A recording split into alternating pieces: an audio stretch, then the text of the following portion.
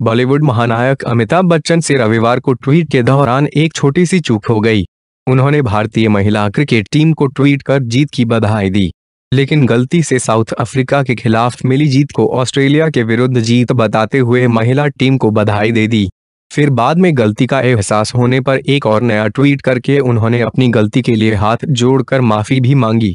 भारतीय महिला cricket team को ऑस्ट्रेलिया के खिलाफ टी डट और वनडे मैच में ऐतिहासिक जीत के लिए बधाई।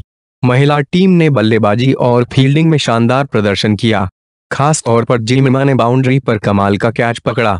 हमें यहाँ पर गर्व है। करीब दो घंटे बाद अमिताभ ने एक और नया ट्वीट किया, जिसमें उन्होंने साउथ अफ्रीका की जगह ऑस्ट्रेलिया लिखने के लिए माफ़ी मांगी। बता दें, महिला क्रिकेट टीम ने साउथ अफ्रीका के खिलाफ 5 फरवरी से 24 फरवरी के बीच तीन वनडे और पाँच टी डट मैचों की सीरीज़ खेली। इसमें भारत ने वन वनडे सीरीज़ पर दो से एक और टी डट सीरीज़ पर तीन से एक से जीत हासिल की थी। अमिताभ बच्चन ने भविष्य देख लिया। अमिताभ बच्चन का ट्विटर पर महिला क्रिकेट टीम को बधाई देते ही सैकड़ों लोगों के कमेंट आने शुरू हो गए।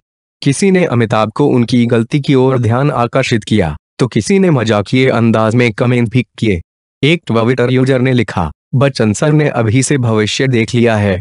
बता दें, अमिताभ बच्चन ट्विटर पर काफ़ी एक्टिव रहते हैं। वो अक्सर खिलाड़ियों को उनकी जीत और उपलब्धि के लिए बधाई देते रहते हैं। ये भी पढ़ें। सैफ अली खान बदलना चाहते थे तैमूर का नाम। रणवीर ने क्यों पहनी स्कर्ट? देखिए प्रियंका चोपड़ा के साथ वीडियो कॉल।